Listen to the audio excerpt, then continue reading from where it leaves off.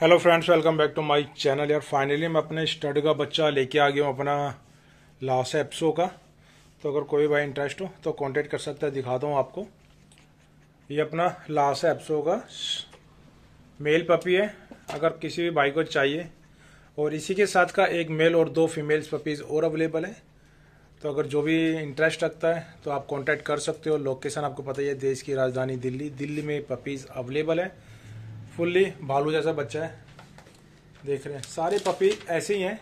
और बाकी की जो पपीज़ हैं, उनकी मैं वीडियोस आपको लास्ट में डाल दूँगा। वीडियो देखिएगा लास्ट तक। उसमें आपको सारे पपीज़ दिखाई दे जाएँगे। ये देख रहे हैं, फुल्ली भालू जैसा बच्चा है और ये अपनी मेल्टीज इसको देख रही है। खाना खा के देखिए फेस कितना गंदा हो जाता है। हाथ साफ़ नहीं करे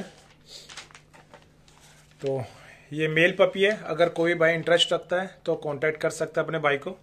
इसी के साथ की दो फीमेल्स सॉरी एक फीमेल और एक मेल पपी अवेलेबल है।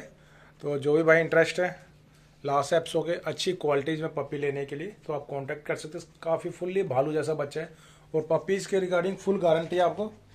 कोई इशू नहीं आएगा आपको पपी में। ये देख रहे हैं। फेस देख सकते हैं फुल्ली पंच फेस में है।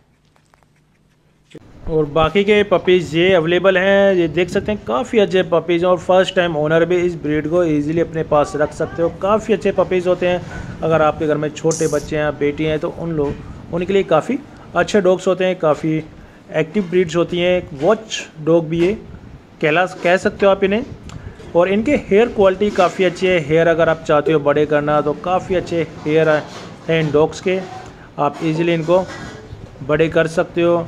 अगर आप चाहते हो एक अच्छा बफ़ी डॉग लेना तो आप अपने भाई को कांटेक्ट करें जल्दी से जल्दी लास्ट ऐप्स हो के। रेडी हैं ये पपी एकदम रेडी हो चुके हैं घर जाने के लिए। और पपीज़ की जो एज हो गई है, वो हो गई है फोर्टी फाइव डेज़ के पपीज़ हो चुके हैं। फुल्ली एक्टिव हेल्थी पपीज़ हैं। और जो प्राइस है इनका, वो है ओनली फीमेल का एट थाउज़ेंड रुपीज़ मेल का ten thousand rupees thank you so much watching my video take care and bye bye